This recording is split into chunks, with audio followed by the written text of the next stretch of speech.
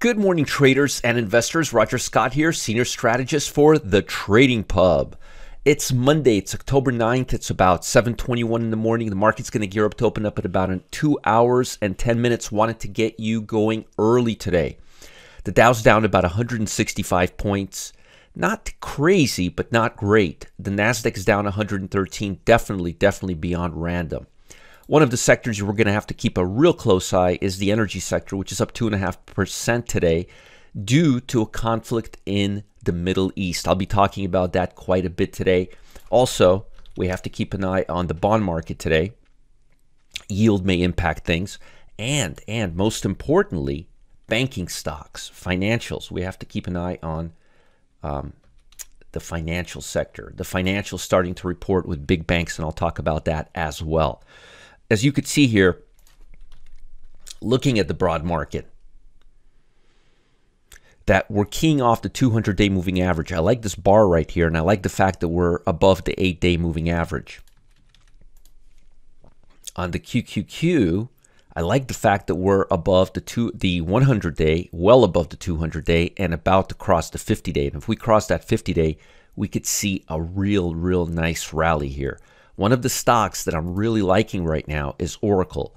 I've been talking the stock up, but uh, it's it's already above the 8-day EMA, and it looks like it's about to want to cross. It got upgraded, and it looks like it wants to cross above the 50, 50 and the 100, which are very close to each other. So in my opinion, Oracle's definitely, definitely a stock you want to keep an eye on today. Other stocks you may want to keep an eye on today, let me just give you a list. Keep an eye on United Healthcare. That's a hot stock. Keep your eye on Western Digital, very hot stock right now. Keep your eye on XPO Logistics, hot stock right now. CME Group just broke out of this level, very, very hot stock right now. That's about it for hot stocks to the upside. To the downside, let me show you where the money is right now you want to see stocks that really did poorly on Friday, like uh, Church and Dwight. Another stock that did poorly on Friday, B A L L, Ball. Another stock that did poorly on Friday, Sealed Air. Not a great stock. So those three are the top bottom stocks that I would be looking to short right now. Now, let's talk a little bit about the market and see what we have to expect and uh, talk about what's going on in the Middle East. Military conflict in the Middle East dampened risk appetite, while market participants are looking ahead to the release of U.S. inflation data and minutes of the Federal Reserve latest policy meeting.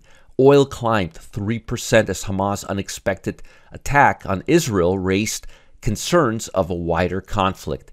It's uh, Fauda. You know the show Fauda? It's Fauda. It's live right now there. It's horrible. I mean, terrible.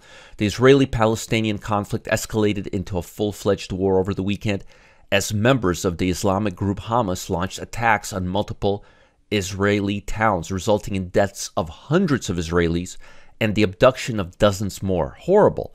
In response, Israeli airstrikes heavily targeted various site, uh, sites in Gaza, and on Sunday, the Israeli government declared war. Uh, Prime Minister uh, Netanyahu pledged retribution and cautioned that a protracted, the challenged fight lay ahead. Oy, oy, oy, oy, This could be another Ukraine war.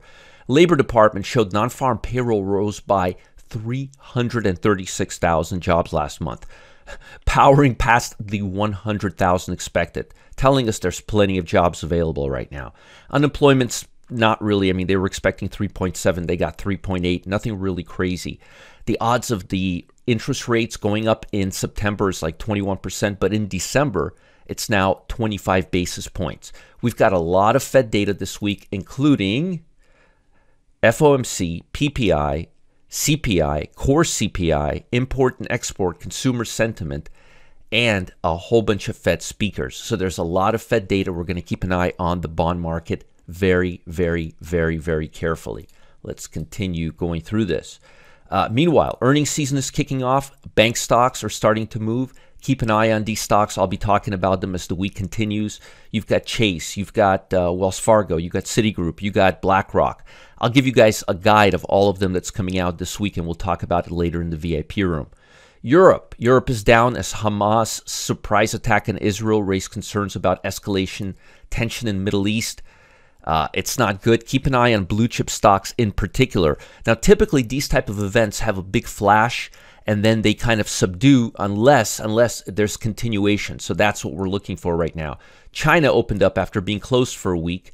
Uh, they closed lower upon resuming trading after an extended holiday with mixed holiday tourism data failing to install confidence or instill confidence in the robust economy recovery. Yeah, they're not doing well at all.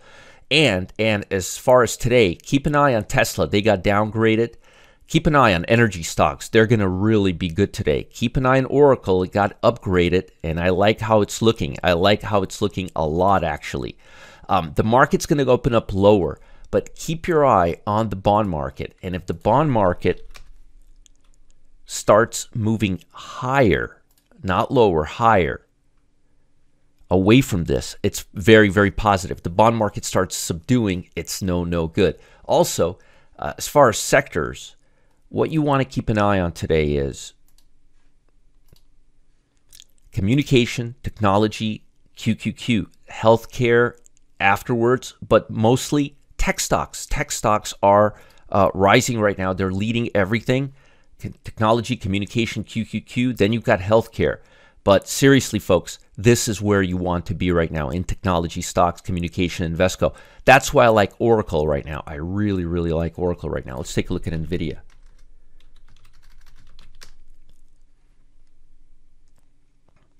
I would be careful right now because it's flirting with the. It's not like it is right here. It's below the 50 day. If it goes above the 50 day, Nvidia may be in play.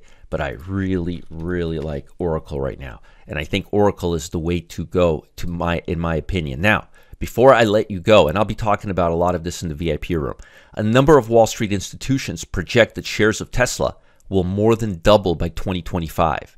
And while I don't think they're wrong, there's a better way to target the same return many times over in the same amount of time. One of our best traders, option strategist extraordinaire, Lance Ippolito, he's uncovered a market irregularity that's specific to shares of Tesla. And when leveraged the right way, whew, it shows the ability to pay out returns of 100% or more in six days or less. Holy moly. According to his data, it happened more than 20 different times over the last year alone. Click the link below and check all about it. Learn about Lance. It's happening at 1 p.m. Eastern Time. World premiere of Perfect Tesla Trade. I can't wait to see it. And uh, we'll we'll talk about it more in the VIP room. You guys have a great day. Remember, be very very cautious. Indexes are at turning points.